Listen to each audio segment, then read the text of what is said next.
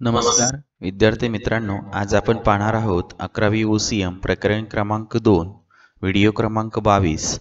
यामध्ये पाहणार आहोत एक छती दुकाने आणि साखळी पद्धतीची दुकाने यामधील फरक. एक छती दुकाने आणि साखळी पद्धतीची दुकाने अशा पद्धतीने आपण मांडणी करायची आहे. उत्तरपत्रिकेमध्ये सुद्धा याच पद्धतीने वहीमध्ये सुद्धा याच पद्धतीने आपला फरक स्पष्ट करा याचं उत्तर लिहायचे असते.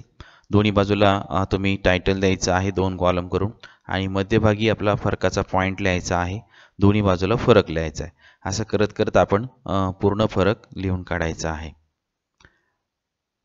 तर आता पाहूया एक छती दुकाने पॉईंट आहे आपला अर्थ. ज्या ठिकाणी एकाच इमारतीमध्ये विविध खाते व विभाग विविध प्रकारच्या मालाची मोठ्या प्रमाणावर विक्री करण्यात येते त्यास एक छती दुकान असे म्हणतात. साखळी पद्धतीच्या दुकानात पहा. जे दुकान एखाद्या संघटनेच्या मालकीची व नियमित केली जाते त्यास साखळी पद्धतीचे दुकान असे म्हणतात. मालाचे विविध प्रकार. एक छती दुकानात विविध प्रकारचा माल मोठ्या प्रमाणावर विकला जातो. साखळी पद्धतीच्या दुकानात विशिष्ट उत्पादनाच्या एकच प्रकारच्या मालाची विक्री केली जाते. तिसरा पॉईंट आहे स्थापना. एक छती दुकानात दुकानाची स्थापना शहरामध्ये मध्यवर्ती ठिकाणी केली जाते.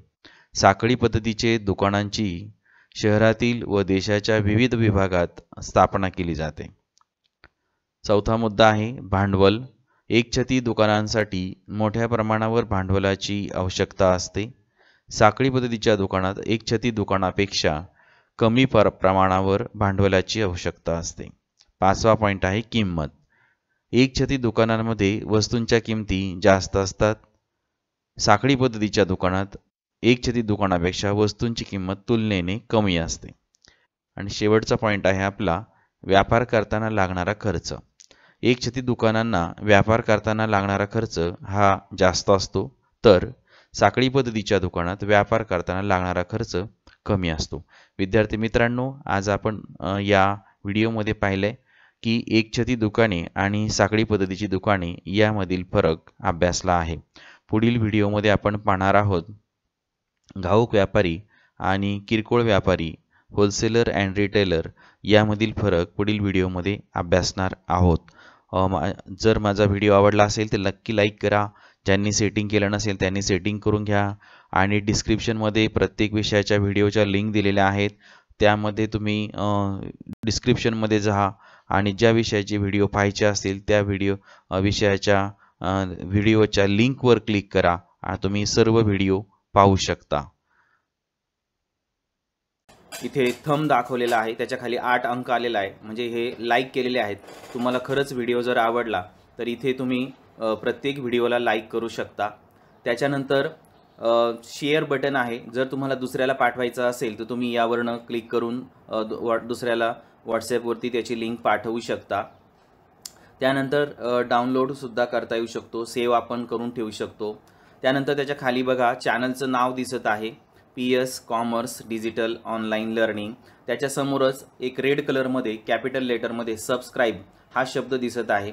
तर या शब्दावरती क्लिक करायचं आहे.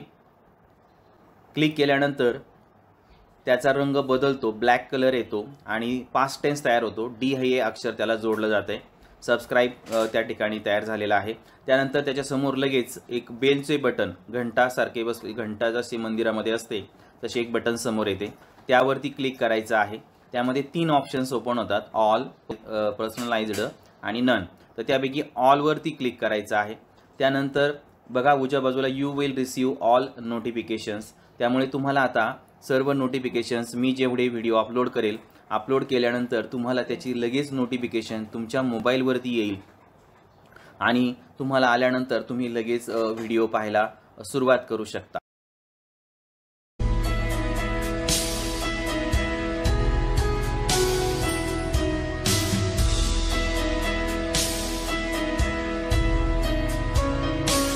Thanks for watching my video.